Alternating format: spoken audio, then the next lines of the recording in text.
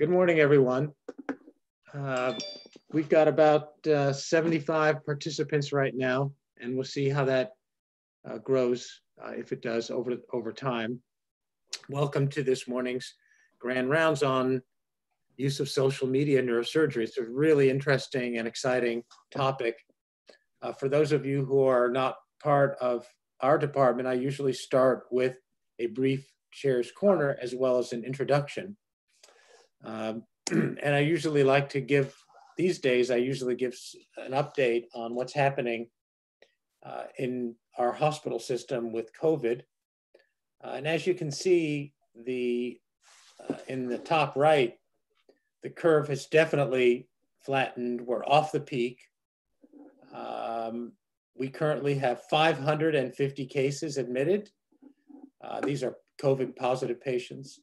And as you know, for a horrible period of more than 10 days, we were hovering around 2,000 patients. These are really incredible numbers. Um, at one point, we had 455 in intensive care, and that is now down to 100 and, 142. Uh, these are still really, really big numbers, as Walter and I were just discussing.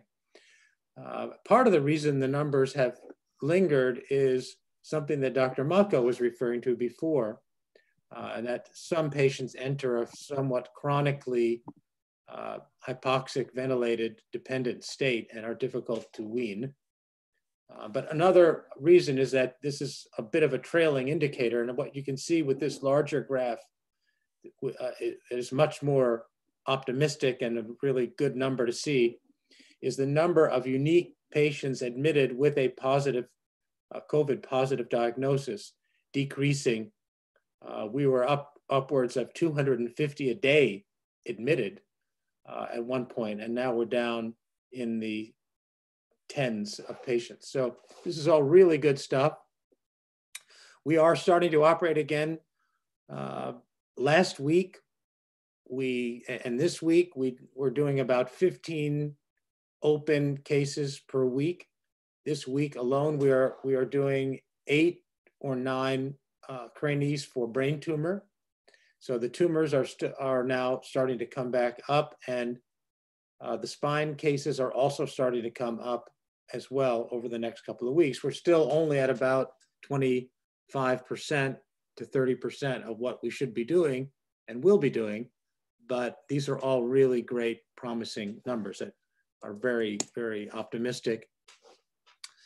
Uh, this is the scheme we're currently using for scheduled non-emergency cases, a tripod uh, with drivers of surgery being threat to function, a need for diagnosis and time-dependent treatments, and the balance against doing the cases is whether the patient will use a lot of resources, how long they'll stay, et cetera, as well as the COVID risk.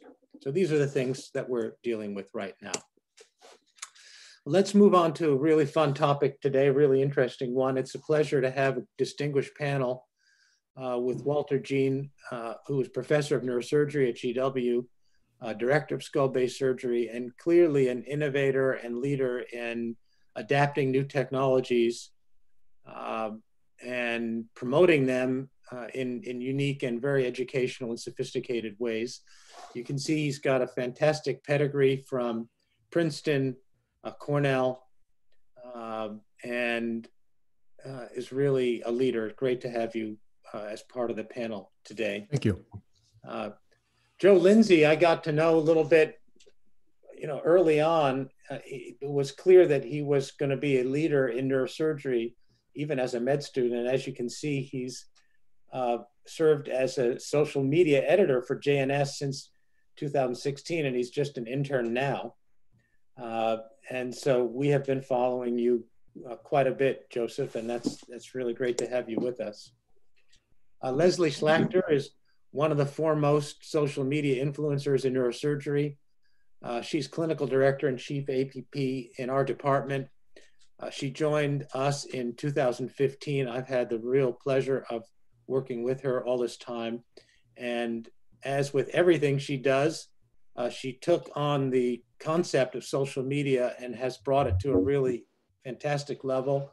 Currently, she's got 19,000 followers. She's got to be one of the more uh, out there uh, people in neurosurgery. Um, we've got uh, other uh, distinguished members, Joe Ciavaro, Neha Dangayach, Justin Singer, as part of the panel. So uh, with that, I think I'll turn it over to, to you and we'll get started. All right, I think I'll share my screen now. Let's hope that this all works well. Here we go, and away we go. Great. Thank you, Dr. Bederson. Thank you for uh, inviting me to do this, and thank you for giving me a chance to not talk about COVID. Uh, um, I think I'm not unique in uh, saying that this is a happy topic and uh, no more uh, morbid topics for now. Let's have a good day and a good time, at least uh, uh, with this talk. My talk, uh, Social Media and the Neurosurgeon, Liaison Dangereux, or Love Actually. if you don't know what the, what the title was all about, Liaisons Dangereux is a book from old French uh, tradition and was adapted to Broadway and of course the big screen. It was uh, most recently The Dangerous Liaisons with Glenn Close, John Malkovich, and Michelle Pfeiffer. Uh, and uh, interestingly, Glenn Close was in the modern adaptation of the same story, which is Fatal Attraction. And who will ever forget that rabbit scene? If you don't know what I'm talking about, please go watch the movie. Do not bring a date. Um, Love Actually, of course, is a sappy little Hugh Grant uh, uh, rom-com. So uh, we're going to talk about whether this uh, uh, social media is for us, which one of these. Disclosure, I have none relevant except to say that I belong to a two social media dog family. So we are always posting our children are in fact raised by wolves. Um, my wife uses it more for social uh, advocacy and um, me much uh, less heavy topics. Um, this is not a slide about COVID. Uh, this is, in fact, the 2016 uh, users of Facebook. Um, and uh, if this were COVID, 1.6 billion people would be affected. Uh, so you can see that uh, if COVID changed the world, then social media certainly has in the last decade, if not more. 20% uh, of the world's population is using Facebook as of several years ago the hollow spots you can see on the map are China, Russia, and North Korea. Twitter. Uh, this is a slide courtesy of Chris Gra Graffeo. Second largest uh, social media platform with uh, more than 10,000 tweets per second, and only half of them are from Donald Trump. Uh, so these two are big platforms, and they are definitely changing the world. Why should we be in love with this? Uh, it is uh, a tool, it is the biggest soapbox in the world. It is the uh, near universal way of showing your work. Um, and if you're going to write and publish papers, then you certainly want people to read them. Otherwise, why bother writing them? So this is a way to show the world your work and your skills. It is free. No one has to pay anything for it. You don't have to be rich to, to get on and use these platforms to show your work. You can, uh, of course, uh, everybody in some sort of way is uh, recruiting patients. So it is a very good marketing tool. And also, if you're a department and you're you got your your you have to have residency candidates and faculty candidates, it is the best way to show off it is a great way to show off your department, its achievements, uh, and all the good things you're doing for job seekers. So marketing is one big category why we should be in love with it. Okay, well, here you go. Uh, I recently created a book, and you know, here's a page on Facebook that allows me to do the marketing. Again, if I bother creating it, why put it in the warehouse? You want people to read it. Networking is this big second category why uh, social media is great for neurosurgeons. You find colleagues to collaborate with. Uh, if you have doing global studies, like I like to do global neurosurgery studies, uh, social media is critical in recruiting subjects and uh, it is a great way to educate the world. So networking is uh, big. Uh, this is probably one of the biggest networking groups on Facebook. they have more than five digit membership and um, run very successfully. Uh, and I want to give them a little shout out here, uh, Neurosurgery Cocktail. The final category, which is a very important one, uh, even though it's a short slide, is staying current. Is the newspaper is the best way to stay current on what uh, your subspecialty uh, is churning out and what new uh, things are out there and stay current with the literature, et cetera, et cetera. Uh, there are all the, there are all kinds of naysayers. I have a lot of friends who are not at all present on social media, and these are the things that they're always concerned about. Uh, hey, I'm going to put something on there that's going to violate HIPAA, especially if I'm posting professional things up there. I'm going to jeopardize my own security and privacy.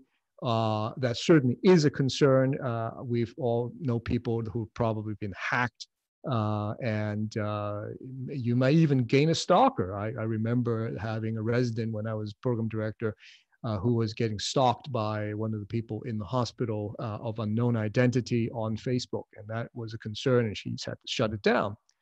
Uh, the other thing is that I've got nothing to say. Well, you've got nothing to say. That's pretty unusual for a neurosurgeon, first of all, and academia, especially. Uh, everybody has something to say, so find something to say, I'm sure. And then finally, self promotion is just gauche.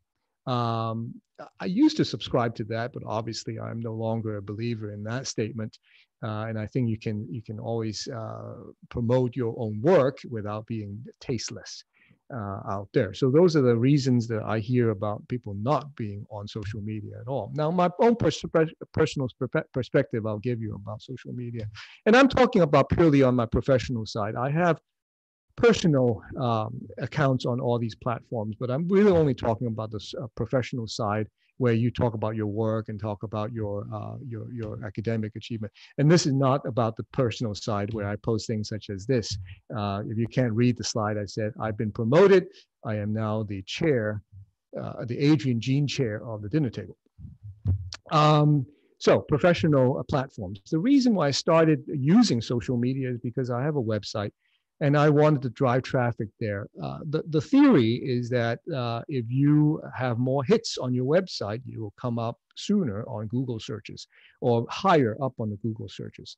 So social media was used, uh, I guess years ago, to drive traffic to a website so that when you have more hits, you can uh, be more prominent on Google. So with that, I started a uh, a Twitter pay a Twitter uh, account, and I called myself a persona called Shifu. Uh, by the way, Shifu does not necessarily mean master, which is uh, in, in, Kung Fu Panda. Uh, it simply in Chinese means teacher.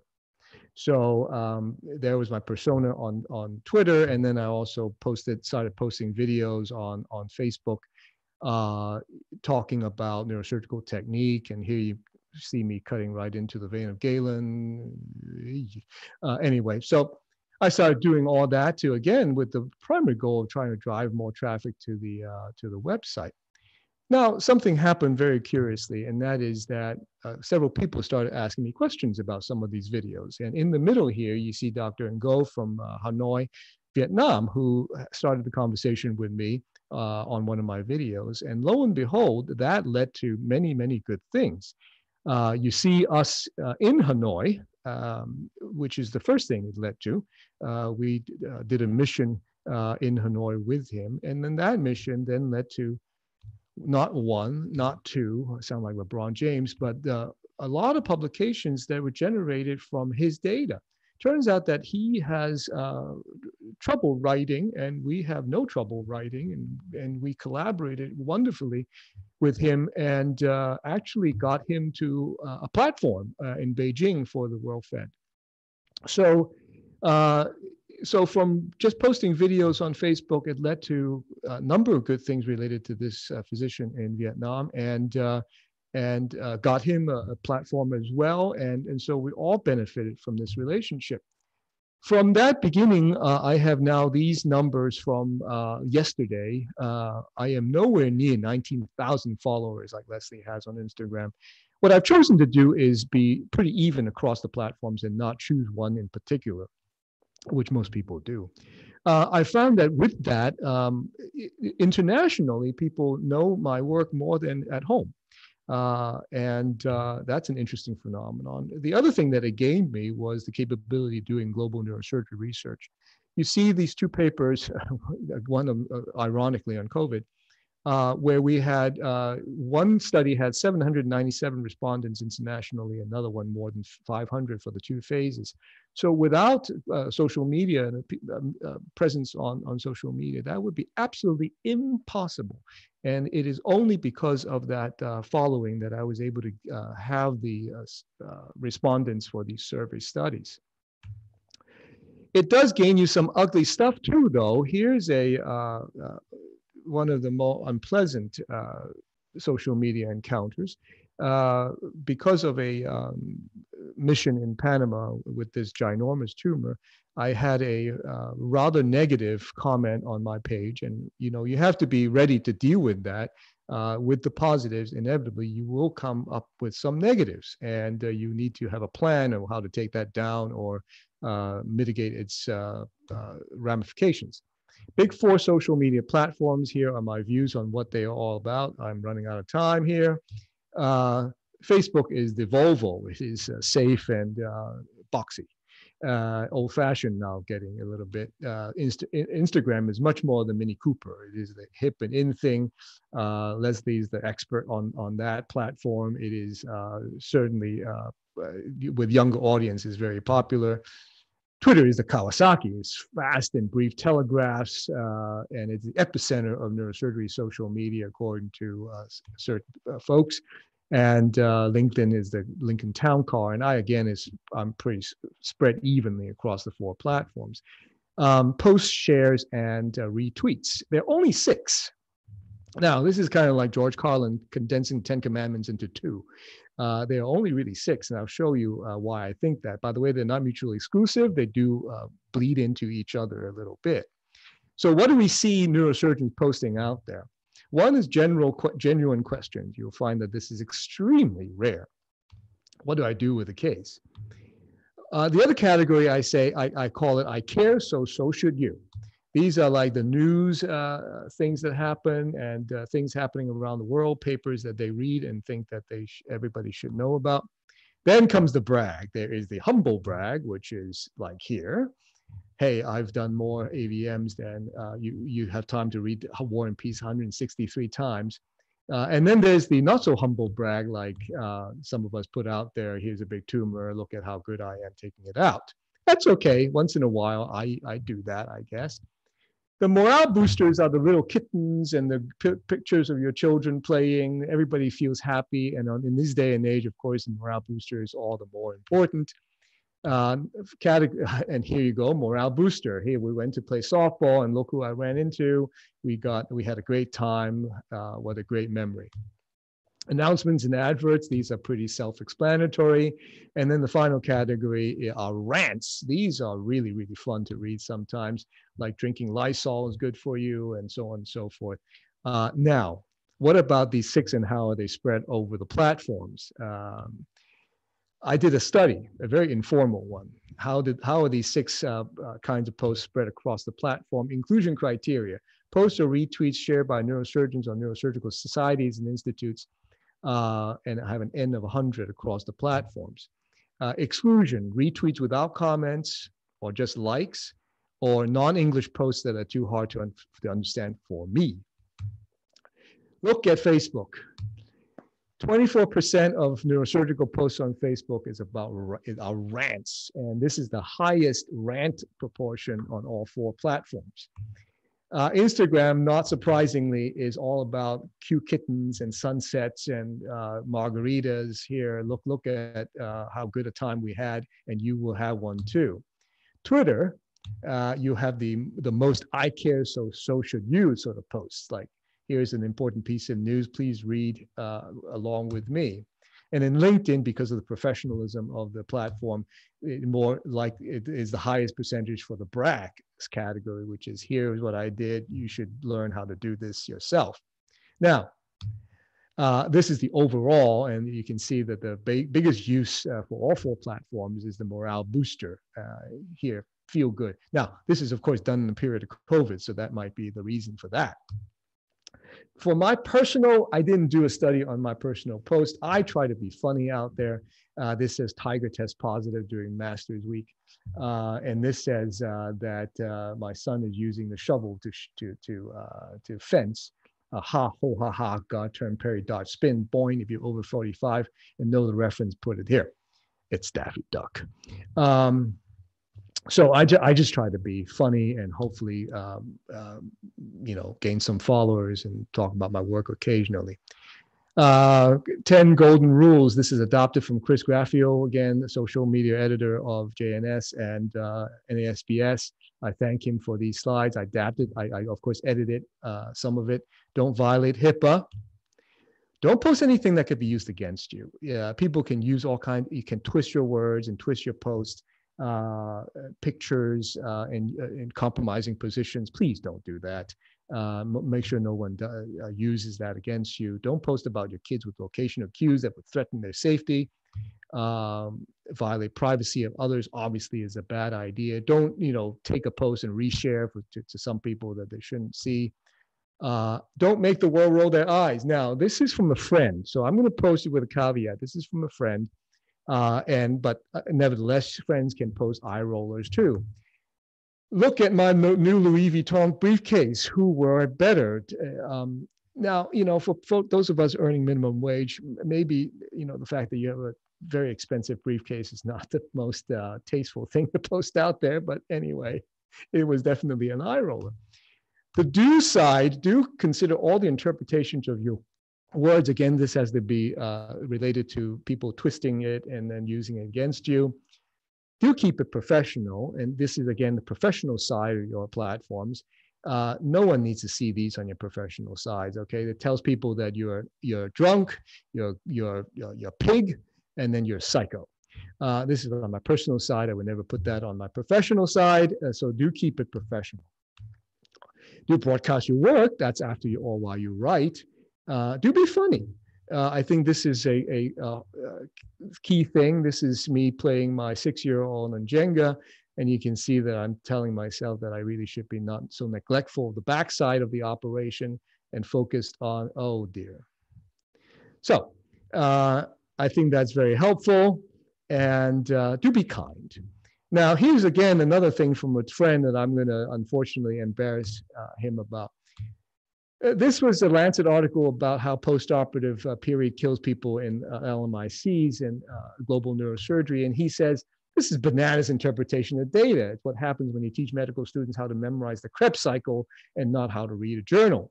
And then people then jump on, of course, like ban surgery, ban antibiotics, all of them lead to death. 90% of all deaths globally occur 30 days after antibiotic treatment.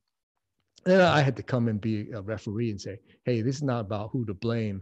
It's about a disparity in the LMICs uh, and uh, so on. So mean tweets maybe not so not so good. Uh, social media has a memory and people can uh, maybe use that against you later. So in conclusion, uh, with my 20 minutes, uh, is it good or is it bad? You can, you can sense where I'm going with it it is your if, if you're an institution or organization or department you'd be silly not to use it uh, it is the best way to show off your department, its work, recruit uh, new uh, job seekers, and there is no one who does this better than Mount Sinai. Uh, you have a professional staff manning it uh, all the time and do a wonderful job with your social media presence. For people, it is your persona in the 21st century. We'd like to talk about VR, both Mount Sinai and GW. This is your avatar. This is your avatar to the world. This is how you're going to stay current. This is how you're going to show the world your face. And talking about newspapers staying informed, democracy dies in darkness is the motto of the Washington Post. Uh, and I would also add that your knowledge, your opinions, your skills, your, your experiences die in darkness as well. So uh, by all means, use it and use it in a tasteful sort of way. And if you have kids that like mine, there's no reason not to show them off a little bit to the world once in a blue moon. So uh, with that, I know uh, I, I, probably went over, but I had, I guess, lots to say. I didn't realize. Um, so uh, that ends my part of it, and I'm going to turn it over to, I believe, uh, Joseph. Uh, that timing was perfect. You had a, you have until you actually have two minutes until 8:25. Oh, so okay. So we, I, we, could take a minute to answer a question from the audience if someone raises their hand and has a question or post in the QA box. And I also have a question for you, Walter. How much time do you spend uh, doing this, and how do you manage it? Because it's it's a very impressive effort that you're making, very well rounded and well thought out. It was a beautiful presentation. So tell us how you manage this with your rest of your professional life?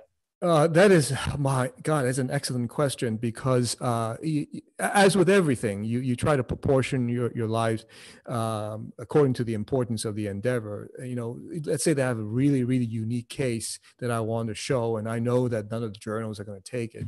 Uh, I think there's a place for it putting it on social media with HIPAA with HIPAA uh, you know compliance. Um, so I go and edit the video and I put a little post together and I, I show it. Uh, it does take time, but if the case is unique enough and has enough teaching value, I think, and, and no one else is going to take it. Obviously, this will be this is a very good, place. So you do have to manage it according to the importance of the endeavor, just like everything else we do in our professional lives. But it does take a lot of time. Um, and uh, uh, again, I, I say that I'm a two household, social media household. Look, my, my wife just did a campaign uh, with t- a couple of other pediatricians in, in Panama to free children in Panama from COVID uh, quarantine.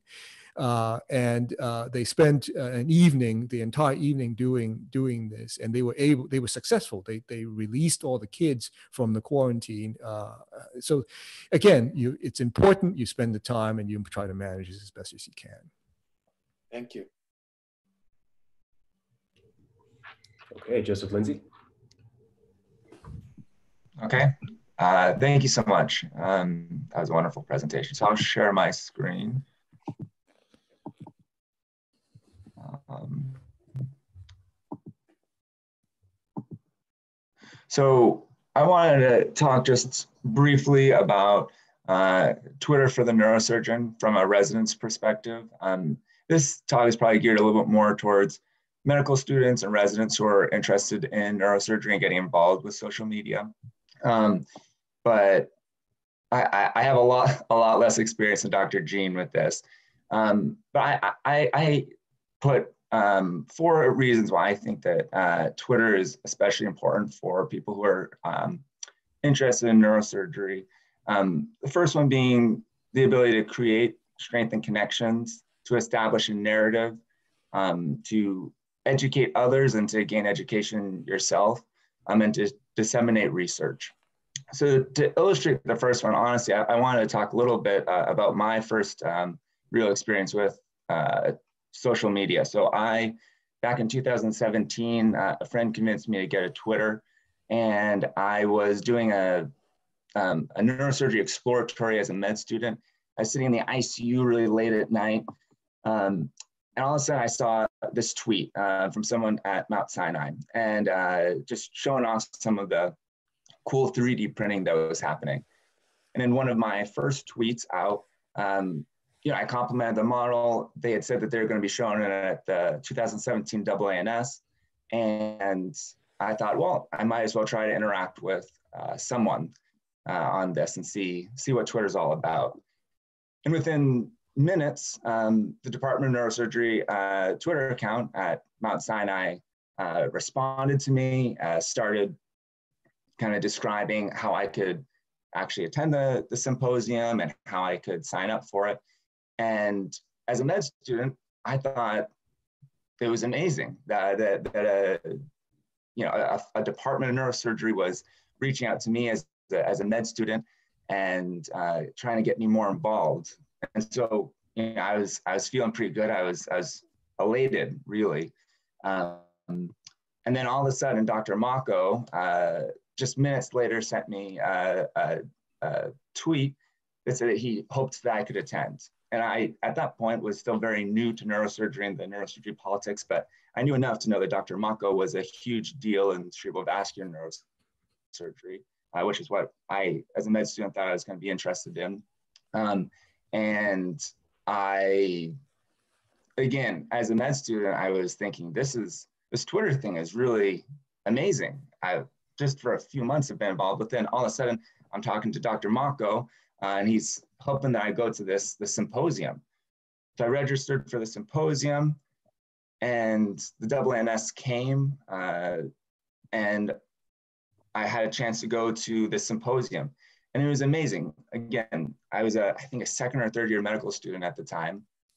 And I walk into this room uh, in Los Angeles and Leslie uh, Jamie, uh, Dr. Mocco, a, a, number of the people who I had been begun interacting with on Twitter um, came right up to me and said, oh, you're that med student. I remember you from Twitter. Here, let me show you this model. Let me show you uh, uh, the, the surgical theater, this virtual reality. Um, I think it was Leslie took me aside and said, "Hey, we're gonna we're gonna interview you. We're gonna uh, film you for a few minutes, ask you a few questions, and we'll we'll post it. How does that sound?" And I mean, I was I was floored um, at how gracious people were were being and uh, how what what a cool experience I was having uh, because of Twitter. A little later in the in the conference, um, Dr. Mocco is presenting something about this endoscopic evacuation of intracerebral hemorrhage. I posted it. He sits down, uh, and I got and I got a tweet from him. For from a from a med student standpoint, um, I was kind of on cloud nine. They invited me to, um, you know, their their resident get together, and I felt like I was part of the team.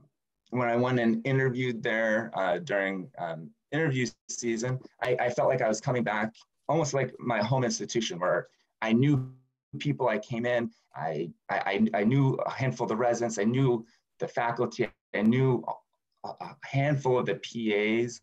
Um, Mount Sinai was the first uh, first group of people to congratulate me after I, I uh, matched a neurosurgery. Um, for me, uh, the, the ability to use Twitter to begin to make connections in neurosurgery is second to none. And, and the Department of Neurosurgery at Mount Sinai uh, was really my first introduction to that and one of the best examples of being able to start building kind of a, a community outside of uh, your home institution in a, in a very unique way that I, I'd never really experienced. Um, so it, even outside of that, building this nice community of people that you feel really comfortable with and you can see at all these meetings, um, being able to, from a medical student or from a resident standpoint, neurosurgery is extremely hierarchical and Twitter allows you to uh, push that hierarchy down and begin to expand and learn from people outside of your home institution. Uh, the, the ability to interact with, with masters in, in tumor and vascular and spine uh, in a very low stress environment where uh, the communication is very uh, low stakes. It also gives you an opportunity to mentor younger residents and medical students, like I, I was at that time and, and still am as a, as a first year. And again, I think that it's key uh, for people who are going to these big CNS AANS meetings for the first time, being able to establish some connections uh, online and then translating those to the meetings where you can meet people and actually uh, interact. There's been many times where people have said, "Oh, I recognize your picture from Twitter. You're you're uh, the one who's on on Twitter," and and and that started a conversation that's led to other things. Um, my second, my second kind of reason establishing a narrative, and, and Dr. Jean uh, pointed this out very, very well. Uh, in this day and era, the public are going to be Googling, uh, even as residents, people, people Google names, and you want to make sure that the, the first things that people read are things that you've personally curated and uh, established as what you want to be said about you. You're able to really create a very personal and strong narrative about what you're interested in and the niches that you have. Again, Mount Sinai is, is probably one of the best examples of a department that's been able to do that. Um, but at an individual level, you're able to begin um, you know, posting de-identified pictures or videos, um, studies, all those things that allow people to see your track record of interest in a certain field or topic. Um, and you're able to kind of begin to build your brand. Again, from, from a resident or uh, from, again, from a resident or medical student standpoint, uh, the ability to not only educate others, but to receive education um, via Twitter and Instagram is huge, especially in this COVID era where a lot of the in-person meetings are uh, stopped. All, there, there are webinars, virtual um, meetings, and you know a, a number of groups are, are creating these wonderful 3D models that you can use to look at anatomy. And all of those things allow uh, are propagated through social media and being involved in social media allows you to stay on the forefront of those um, and, and also be able to get involved in helping develop them. Research dissemination. Hey, Joseph, just uh, want to let you know, one minute, okay? Okay, thank you. Um, being able to send out both research for yourself and others is, is key. Um, I'll just quickly say, I think um, these are all uh, important. I think for a, a, a resident, one of the biggest things is the ability to begin getting involved with organized neurosurgery through uh, through social media and being able to volunteer on on their boards uh, is is huge. Um, this was all talked about by by Dr. Jean, so I won't re-go over it. But being HIPAA compliant is huge. Um, and again, I just want to thank the Department of Neurosurgery at Mount Sinai for giving me the opportunity to speak and for um, really helping me gain my footing in social media at the very beginning. Well, thank you, Joseph. Uh, that was a brilliant talk. Uh, gives us a very unique point of view from a resident standpoint. Uh, let's uh, go to Leslie uh, for the next portion.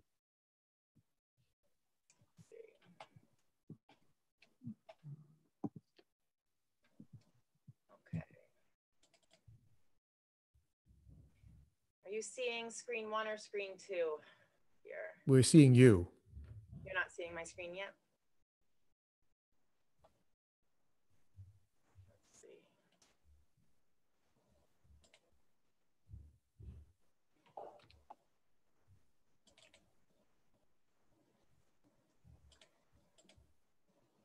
How about now? Good. Okay.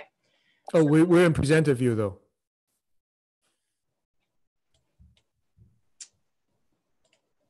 Let's see.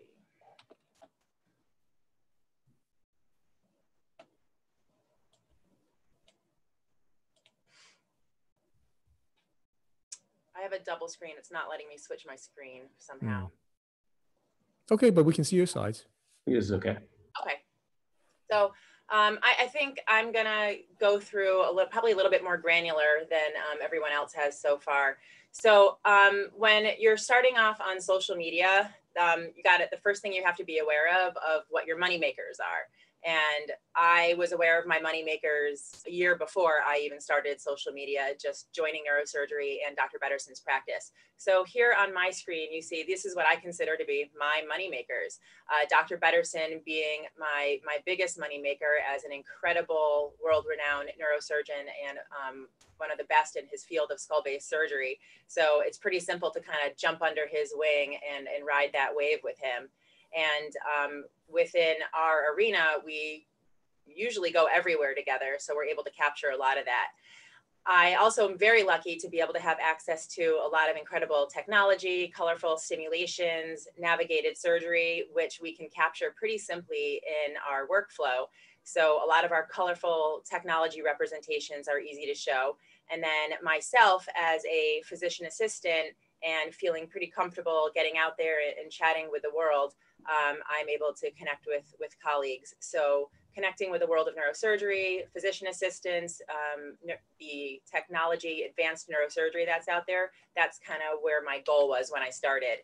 And, you know, if this was a stock market trend, you would look at this and say, yeah, I should have gotten back in this in 2010, but this is still rising. So anyone who is kind of a naysayer for joining social media cannot deny that this is, this is happening. So, so why did I jo uh, join social media? A couple years ago, um, our marketing coordinator, uh, Jillian Baroza, had a meeting with Dr. Bederson and I and said, hey, listen, central marketing really wants us to get involved with social media. Are you guys interested? And Dr. Bederson said, uh, not yet. Why don't you, why don't you give it a go and tell me how it goes? So at that point, Jillian named me Brainy Leslie as a play on um, neurosurgery and hopefully being smart. And I wanted to jump right in and, and be an early adapter. I am, I've been at Mount Sinai for almost 12 years. I love Mount Sinai. I love medicine. So um, building a, a brand, um, a concierge specialty level brand was something that was important to me. It was also very important to raise awareness for Dr. Bederson and all of his strong work and um, for APPs and myself. I love to educate patients. Everyone who knows me in my practice knows that engaging patients and giving them a top level experience is very important. Um, I love collaborating with other doctors. As you can see here, you know, Walter and I met several years ago on Instagram, and here we are today. Same thing with uh, Joseph Linzey. You know, you are also building authority. You can be one of the best in your field in the middle of Kansas, but if nobody knows it, not that it doesn't matter, just nobody knows it. And um, I found that this has provided a lot of support. So I wanted to be able to reach out and, and provide that support. And I love being social. So which platform?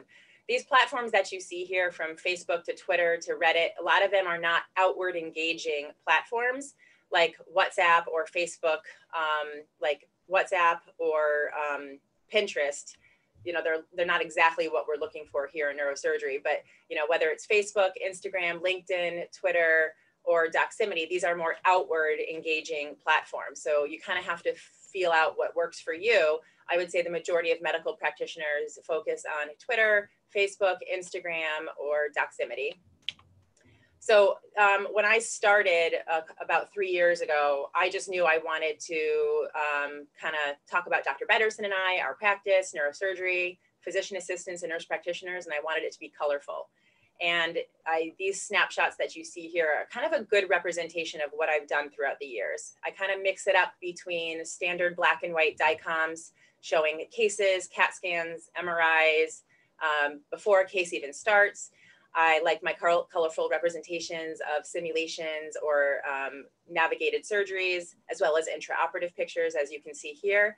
And um, anyone who's ever interacted with me at Mount Sinai Hospital knows that I am a generally pretty happy, fun-loving, super social person, and I wanted that to shine across through my social media, and um, that you see here. Um, I want you to take a look at the middle screen and that says, you know, I found throughout the years, there's the things that people ask me over and over again. I kind of got sick of answering, so I just put it up there. Yes, I'm 6'4", and for those internationally, that's 193 uh, centimeters. Um, I work at Mount Sinai Neurosurgery. I specialize in skull-based surgery with Dr. Bederson, but people get confused by the term skull-based, so I switched it to brain. It's fine. They can also find me on these other platforms, which I'm not as active in. I do focus on Instagram. And you can see that my profile is a public figure profile. If you're not, if you don't have a public figure profile, you cannot engage with your insights. We'll talk about insights in just a moment. But it's important that you you manage your profile appropriately that people can find out all about you just in one second of looking at your profile. And then where you see the um, your link where it says Zoom. I put that up today or yesterday so people can join us here, but that can change. So does this work? Well, here's a group of people in our department. There's me in the longest line. Clearly this is working. The other pink arrows that you see are other people in our department um, that I have either kind of nudged, helped along, started their profiles, handed it off to them or something. So clearly this is all working and I, maybe I know what I'm doing. So I think I think this is definitely um, heading in the right direction. So when you start your profile, you want to you have to be comfortable showing your face. Nobody's going to connect with you if you can't show your face and stick to your specialty. So if you only want to do hip replacements, you really shouldn't be talking about shoulders or feet. Focus on hips. Same thing with us with skull base. I definitely tweet about my teammates, but I, I try and stay focused do not start a profile until you have a ton of content ready to go. Because if you start your profile and then get busy for two weeks and the only post you put up was one post, followers are going to burn that in their memory that they can't really rely on you for content and they may not follow you moving forward. So be ready and then post like consecutively over a couple weeks because you are able to draft. Block your schedule just like you would with block time or office hours. You got to block it and be prepared for this. It does take a lot of effort up front, but once you build your competence, the time frame decreases so you're not as busy during the day. And you want to commit to those posts every week. Then keep your momentum going. You got to get to know your followers. Look at what they say, answer their DMs. You want to keep it basic. You may be able to do an incredible, you know, you know, T1 to pelvis surgery, but people may want to hear more about, you know, what you do with your team on a daily basis. You want to post, you know, the basic stuff and every now and then throw in something complicated so people know you're pretty great. Post wherever you are, home, conferences, announce it all. You want to ask questions. Even if you know the answer, ask the questions. That's way that's the way that you engage with the younger audience. And you want to teach. Probably the most important thing is show your team who you engage with people get bored even looking at beautiful Kim Kardashian. They don't want to see her all the time. They want to see who she engages with. So you want to show that. So here's an example of what I said, what I was talking about before. You can see if you look over my last two years, this is my how I'm able to see my insights as a public figure. And when I click on engagement, which is the most important to me, I can see over the last two years, you don't see a lot of complicated neurosurgery here. You see my team. All right, my team connecting, talking, supporting each other. So I, I got this this this comment here recently from a teenager. The posts that educate your followers and elevate you are not the same posts that stimulate and excite your followers. Your followers want to see your team, you know, maybe what you had for breakfast that day, how you feel about being a busy neurosurgeon or a busy doctor. That's what they want to see, and that's what's going to get them to follow you and like you. But you can throw in that intermittent, really incredible, complex neurosurgery that you think is the most meaningful.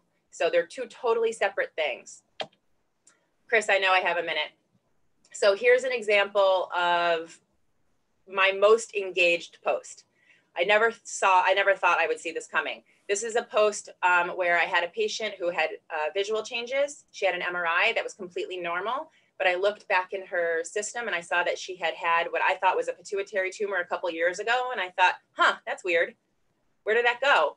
Turns out she was just pregnant during that time. So I posted it. Hey, this is what it looks like during pregnancy. And this was my most engaged neurosurgery post. Out of all the complicated neurosurgeries that we've posted, this was it. So it just shows you how basic you can be.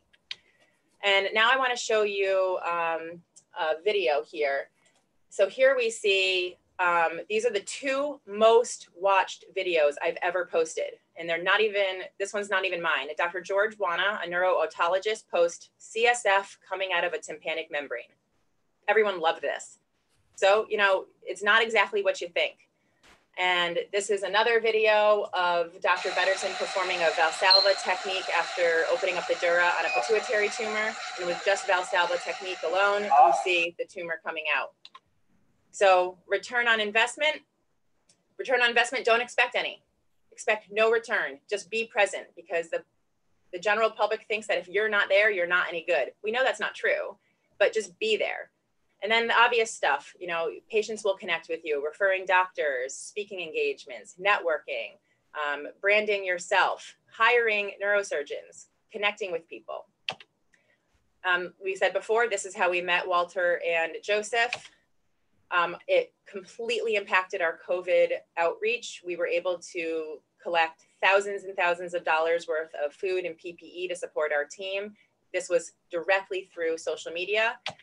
Um, don't post PHI by accident. Check your posts at every angle, specifically reflections, mirrors, and screens. Do not oversell yourself. If you don't do diagnosis X, don't talk about it because then comments are going to start coming you can't answer. And don't sexualize yourself. Leave that for the Kardashians. Nobody wants to see that in medicine. So I could easily post that picture of me. That's me, messy hair, sweatshirt on, absolutely no makeup, but I'm posing. I don't need to do that. Turns out that my followers, do you know what they want to see? 30,000 followers wanted to see me sitting at work in my messy office with no makeup on, smiling because I'm happy. So I'm going to stick to who I am and I'm not going to pose. And it seems to be working just fine for me. Well, thank you for that, Leslie. Uh, wonderful, another completely unique perspective. Uh, again, uh, thank you for that uh, expertise in Instagram. My God, you're miles ahead of all of us uh, in terms of uh, knowing the nuances of what to post and, and all those aspects. Um, so we, we have a couple of minutes left. I want to make sure to bring in the panelists who haven't been able to speak. Uh, Justin and Neha, um, you guys uh, didn't have formal talks, but uh, how reactions towards what uh, what's been said? All fantastic talks, and uh, I should emphasize that I was pretty wary of getting on social media. I I chose my platform to be Twitter I'm not as facile as uh, you are, Walter, across all the different platforms. But I've been I've been choosing more professional platforms because I do want to keep my social media presence uh, predominantly professional. So I don't use social media as much for uh, for a personal profile.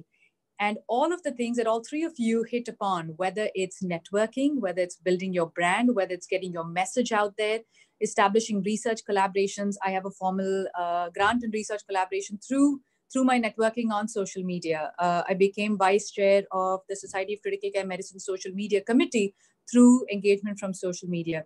Found a lot of mentorship so that that micro mentoring that happens in a very organic fashion on social media. All three of you touched upon that very nicely, and it works. It provides. Uh, um, like Joseph was saying, it provides uh, direct access to masters in their fields, whether it's it's your research collaborators, whether it's folks who've, who've uh, really established themselves as authorities in a very low stress environment, and you're able to really make make those connections. Or your mission to Hanoi, it's it's incredible how powerful social media is as a platform.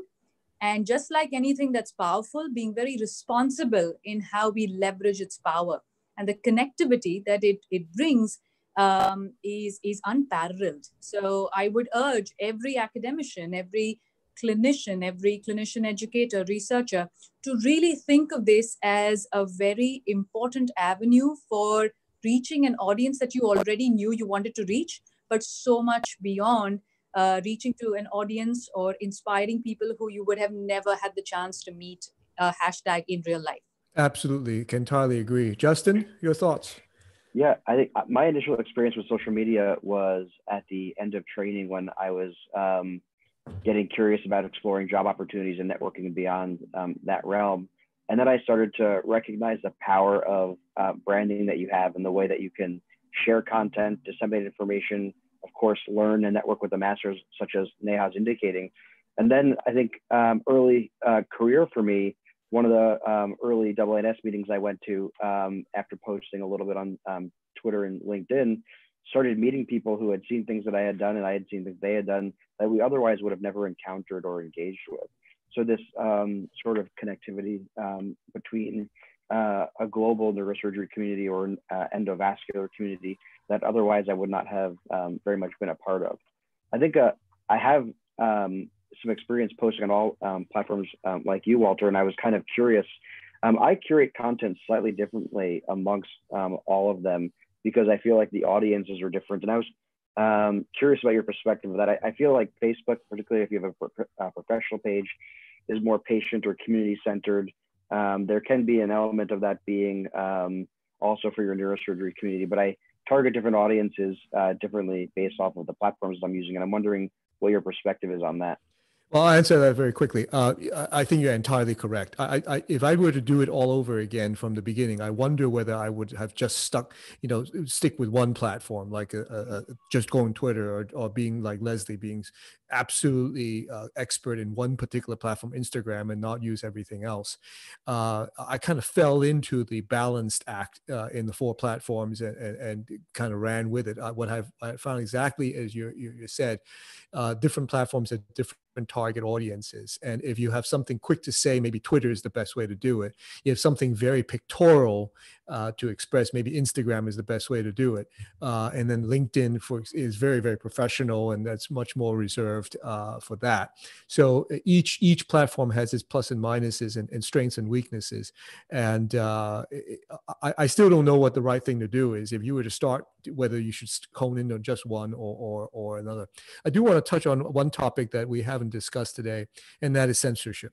Um, you know, First Amendment kind of uh, things. Uh, institutions uh, have uh, uh, some power in, in, in, controlling what we what we say as professionals.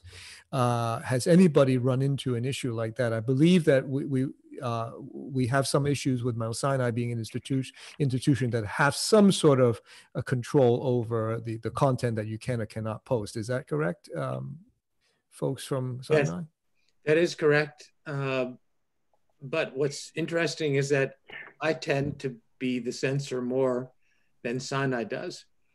Um, and I, I think it's so important to, um, I think you said it, I think everyone has said it, to listen to the audience uh, or people who are, you know, uh, in your local environment. A good example is that when the COVID started, we were all kind of worried and we thought maybe it'd be fun to post, to have a, a weekly exercise competition. Uh, and the comments were, you know, it's so serious. Do you really want to be doing something so lighthearted? Um, so yes, we do get, you know, we do for videos, we have to have approval and every now and then there'll be something that we comment on, but I find that we're more on the reserve side of things than, than our institution. Leslie, do you want to comment on that? Yeah, I mean, I think, you know, my personality is definitely not typical of in neurosurgery. I'm an outlier but I, I, I think that neurosurgery has kind of a, adjusted to me a little bit. Um, if something doesn't feel good um, here and you're questioning it, it's a no go. Just don't post it. If you're stepping out of your comfort zone and you think that your followers will like it and it's kind of lighthearted, then you should do it.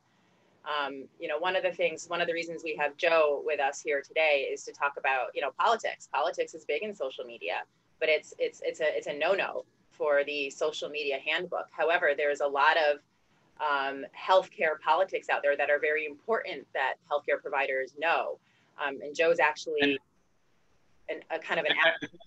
I think there's a lot of room for interpretation of the institutional policies. You know, I would agree that institution doesn't want you to put on your Twitter uh, as a Mount you know, as an institutional employee, vote for this candidate. But um, you know, you can certainly comment on health care related issues that are political.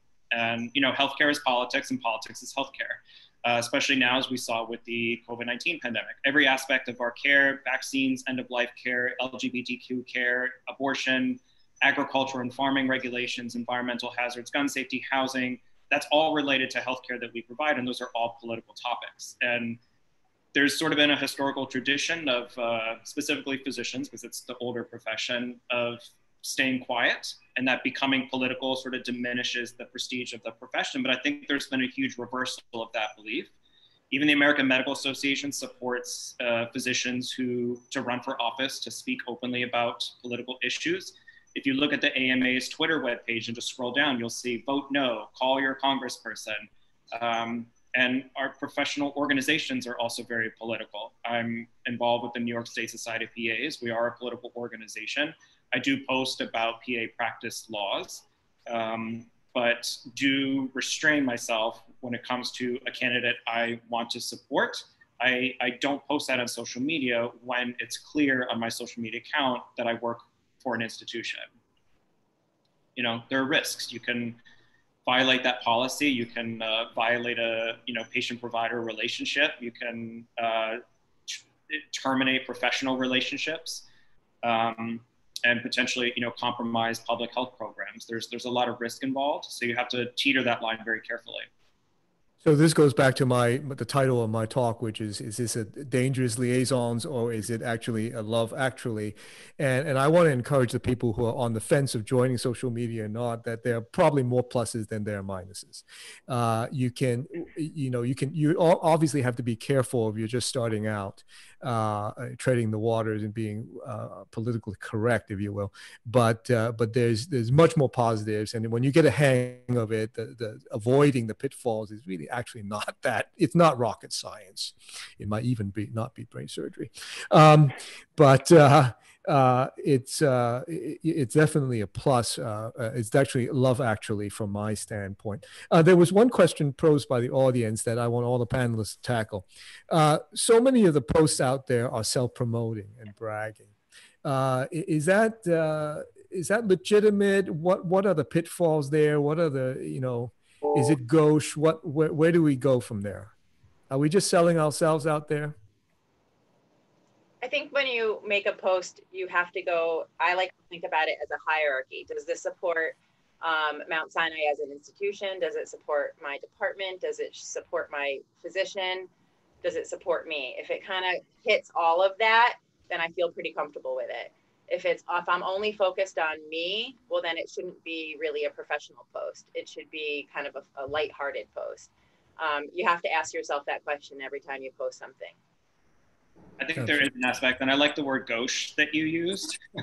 Um, and we've been talking about this with the board of the State Society of PAs about the sort of self-promotion on social media and how it can send mixed messages when you're trying to achieve an agenda.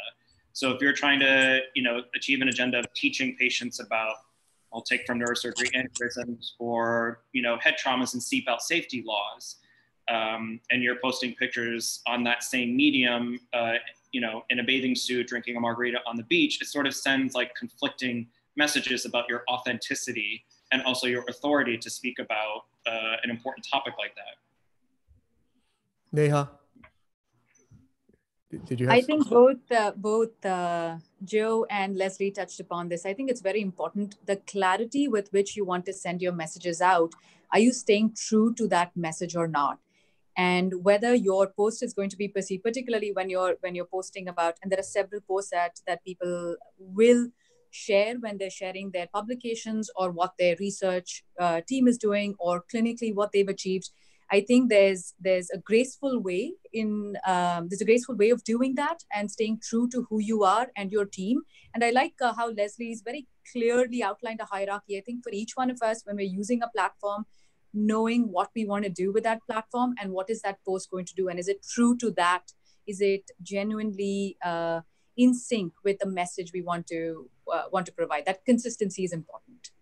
And I think from from a neurosurgical side, posting you know uh, unique cases and whatnot, it, it it can come across as, as bragging a lot of time. But the one way around it is that if you do have a track record, make sure that you post your good results along with your complications. If you, you know, if you're honest with, uh, hey, you can learn from this complication and this complication as well as from this good result and this good result, then you become much more balanced. You no longer just say, ha ha, look at what look at what I can do, look at what a master I am. But really your your your message against staying true to the message. I'm out there to, to, to teach. Uh, this is what can happen if you did this. This is what can happen to do that in a very balanced way. Justin, any thoughts on that? Yeah, I think it definitely can be self-promoting. I think you need to be careful uh, with what you post and the things that you want to draw attention to, and you can certainly do that um, by praising your team, praising past experiences, uh, praising something novel if that's what you're trying to do and share. But I always um, like to highlight team members in my posts, or even highlight successes of my colleagues so I'm not only posting, you know, my cases or my experiences.